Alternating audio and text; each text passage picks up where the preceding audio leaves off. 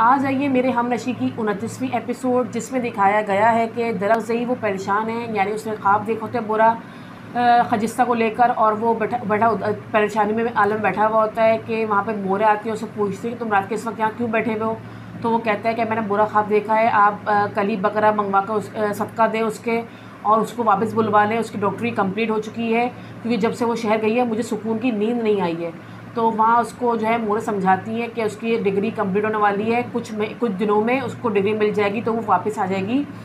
यहाँ पे दिखाते हैं कि जो जो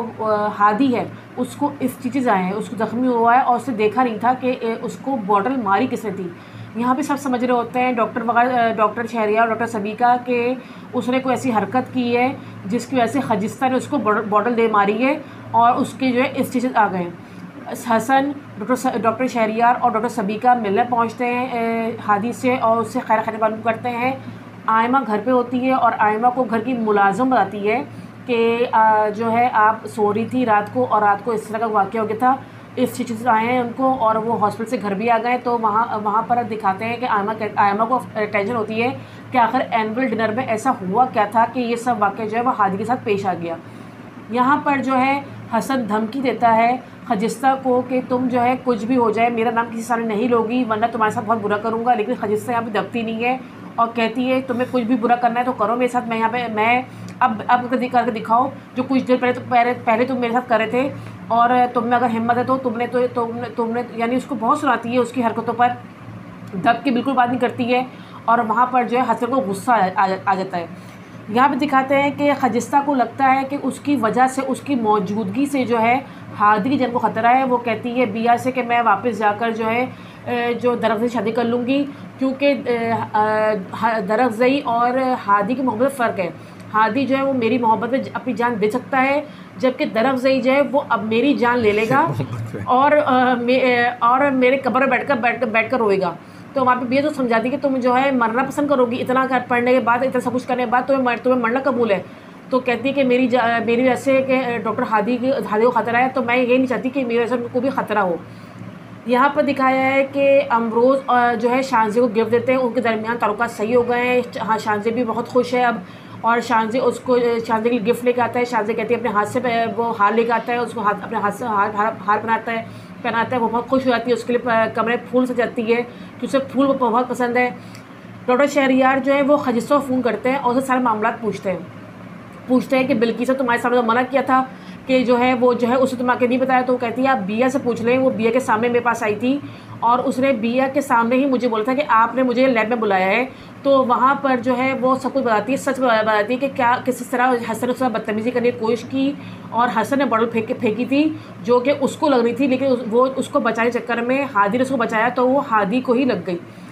डॉक्टर शहरिया जब ये सब सुन लेते हैं तो डॉक्टर शहरिया घर आते हैं और हसन को खूब सुनाते हैं और कहते हैं मुझे बहुत ज़्यादा शर्मिंदगी की शर्मिंदगी है कि मेरा बेटा जो है उसके जहन में इसे खिला देते हैं कि वो एक लड़की का रेप भी कर सकता है इस तरह की उसके जहन की जहनीत है उसकी और ये बात जो है अपनी माँ के सामने कभी मत करना वो ज़िंदा वो ज़िंदा कभी नहीं बच पाएगी क्योंकि मैं तो बर्दाश्त कर गया लेकिन वो वो जो है कि इस बात को बर्दाश्त कर पाएगी कि तुम जो हो वो इस जहनत के मालिक हो और वहाँ पर जो है वो कहती है कहते हैं कि मैंने जो है वो उसको कबूल कर लिया है खजिस्ता को। और पहले यानी कि उसको कबूल कर चुका था हादी कबूल कर चुका था अब मैं भी उसको कबूल कर चुका हूँ और उसके आने से पहले इस घर में आने से पहले तुम्हारी जो है वो मौजूदगी मैं जो है इस घर में मैंने चाहता कि तुम इस घर मौजूद रहो तुम्हें जो है बाहर भेजेगा मैं, मैंने अमरीका। भेजने का प्लान कर लिया है। तुम अपनी तैयारी करो मैं तुम्हें बाहर भेज रहा हूँ। और फिर वो ये बात जो है वो बताते हैं अपनी बेगम डॉक्टर सबीका को। डॉक्टर सबीका मना कर रही होती है कि आपने पहले भी हमने पहले भी बचपन में गलती की थी तो वो कहते हैं उस वक्त हम लोग नादान थे लेकिन अब जो है उसके लिए बहुत ज़रूरी है कि वो बाहर जाए थोड़ा अकेला रहेगा तो उसको दिमाग जो है अकल जो है थोड़ी ठिकाने आएगी। दिखाया है कि दोनों उदास बैठे हुए होते हैं डॉक्टर आयमा और हसन। जो है वो काफ़ी उदास बैठे हुए होते हैं क्योंकि दोनों की जो प्लानिंग है बुरी तरह फेल हो चुकी होती है। आयमा से बोलती है भाई मेरी तो वजह समझ में आती है तुम क्यों उदास बैठो तो कहता है कि उसने उस पहाड़न ने मुझसे जो है तुमसे जो है वो हादी छीन लिया और मुझसे मेरे माँ बाप छीन लिए। बड़ी अच्छी किस्मत है लेकिन अब जो है वो उस, उसको मैं छोड़ूँगा नहीं ना वो मेरे से बच सकेगी। वहाँ पर जो है वो उसकी यानी कि उसके जहन कुछ दिमाग में प्लानिंग आता है और जो है वहाँ पर उसको मज़ीद आयमा भड़काती है कि कहाँ गई तुम्हारी सारी बातें और तुमने जो इतनी बड़ी बड़ी बड़ी बातें की थी तो वो कहता है कि मैं जो हूँ उससे बदला ज़रूर लूँगा। ये सब दिखाया है फिर नेक्स्ट में दिखाया है कि कि जो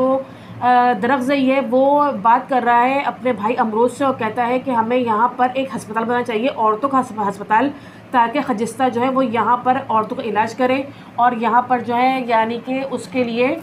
कोई मुश्किल ना हो। तो वहाँ पर अमरोज कहता है कि तुम जो यानी कि ये बात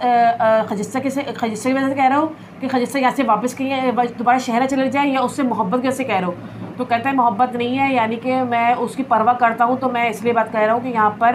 यहाँ पर हमारे शहर में एक औरतों को अस्पताल होना बहुत ज़रूरी है।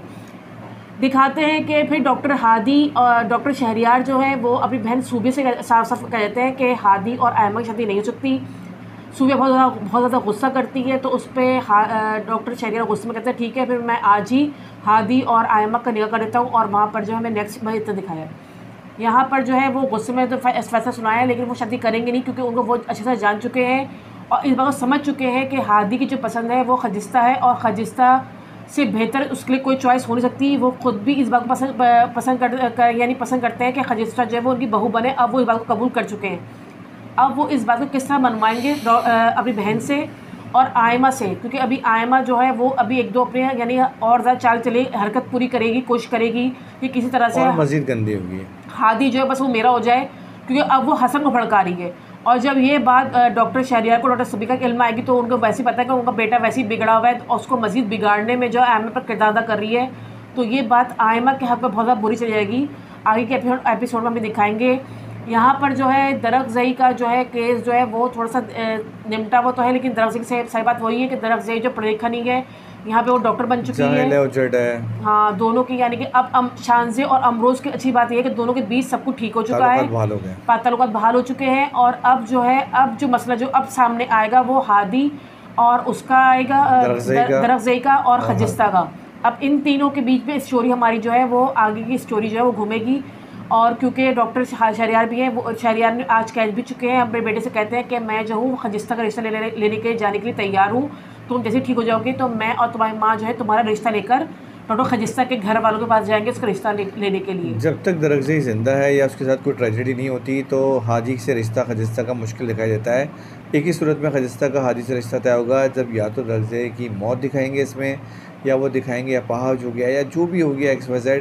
यानी उसको कोई नेगेटिव चीज़ दिखाएँगे जाके, ताकि जब खजिस्ता का जो है वो रुझान उसके घर वाले जो हैं, वो हादी की तरफ़ माइल हों, वरना जब तक दरगजे ज़िंदा है सबकी जो है तवज्जो वो खजिस्ता और दरगजे की तरफ़ होगी तो दरगजे के घर वाले हैं। अच्छा फिर हम देखेंगे जो से साथ जो वाक्य होगा ना वो बहराम से होता हुआ नज़र आ रहा है क्योंकि बहराम जो है वहाँ पर एक अभी मारेगा से पहले पहले ऑलरेडी हमला कर चुका है हमला कर चुका है वो सबका गुस्सा उन लोगों के अंदर मौजूद है। अब वो अमरोज पे यानी कि दरगजे पे निकलेगा उसका गुस्सा किस पे निकलेगा क्योंकि वो जो है ये भी चाह रहा था कि जो है खजिस्ता की शादी जो है वो उससे हो जाए क्योंकि वो कह रहा था लड़की बदले लड़की ये भी हो सकता है कि दरगजे ही अमरोज को मार दे बहराम को मार दे और फिर जेल चला जाए। कुछ इस तरह का सीन होगा जो अमरोज और बहराम और दरगजे के बीच में होगा। ठीक है तो ये था आ, मेरे हमनशीन की उनतीसवीं एपिसोड के अवाल नेक्स्ट क्लिप पे हम मजीद किसी ड्रामे में बात करेंगे जब तक के लिए वाजिद और मेहर को दीजिए इजाज़त। अल्लाह हाफिज़।